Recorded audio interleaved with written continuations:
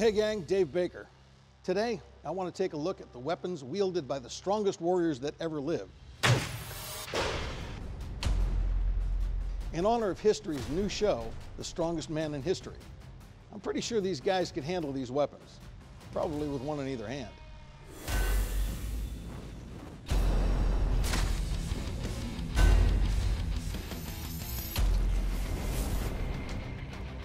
This monster of a blade is the Scottish Claymore. Now, the Scottish Claymore may be the most iconic longsword in history.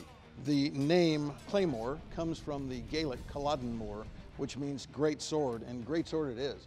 At about five feet in length, four feet of which is the blade, it was such a large weapon that the average soldier had to use two hands to wield it, making it a fierce and intimidating weapon on the battlefield.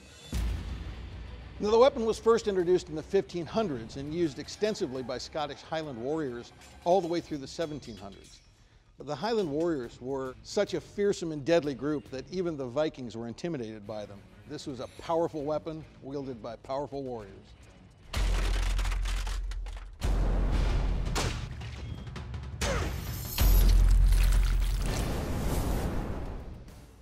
This massive and intimidating sword is the Zweihander. Now the design of this blade, with its parrying lugs and large guard, and the wave of the blade was used extensively in pike battles. The guard could be used to push pikes up out of the way.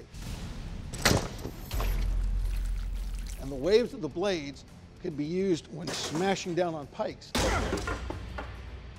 It wouldn't slide off, it would actually catch and break the pikes. Up to six feet long, weighing up to eight pounds, this was the weapon of choice for the elite guards of the Landsknecht mercenaries. German mercenaries who fought throughout Europe and were some of the finest foot soldiers of their time, notably enlisted by the future Holy Roman Emperor Maximilian I. They helped him with his rise to power in the late 15th century. Now, the Landsknecht used these swords extensively in the Italian wars, from the 1490s to the 1550s. Now, these weapons were not used by small guys.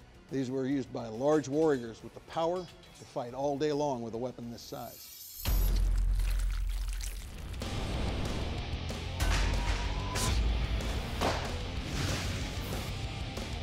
I'll kill him.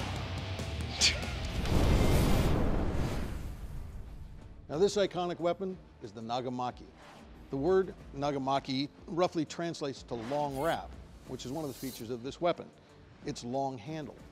The blades could be roughly three feet long with an equal length of handle wrapped in leather or silk cord, giving it a lot of leverage and action to the blade.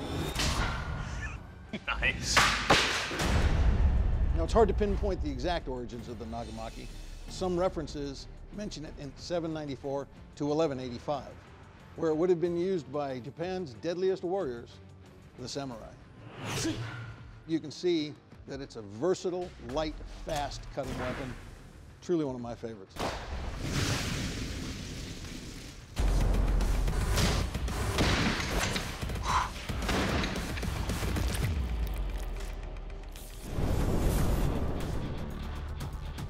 Now this deadly piece of business is the knightly poleaxe, favorite of armored knights from the 15th century. Now with its three deadly features, an axe head to chop, a thrusting point for taking a man off a horse or a man in front of you on the ground. And for armor, a hammerhead. You can see that the shaft is steel reinforced and actually has a guard. That way it can be used to parry weapons without damaging the shaft of the weapon. Now you can see these weapons in pictures and wood cuttings from the 15th century being used not only on the battlefield, but in judicial duels, trial by combat, if you will. Now this was a weapon that respects no armor. It was used by knights who had both strength and skill.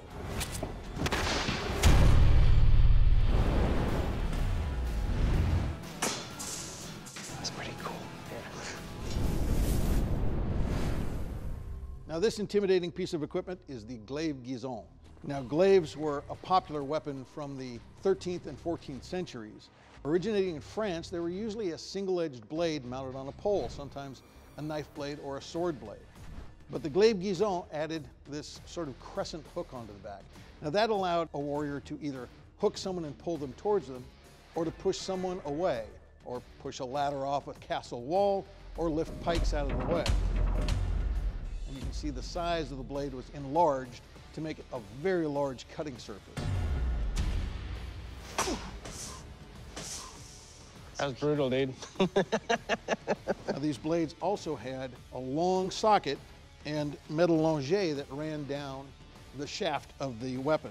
Now, that kept that shaft from being cut or broken by swords, axes, other weapons being swung at it. You can see, in the hands of a professional, that is an incredibly intimidating weapon.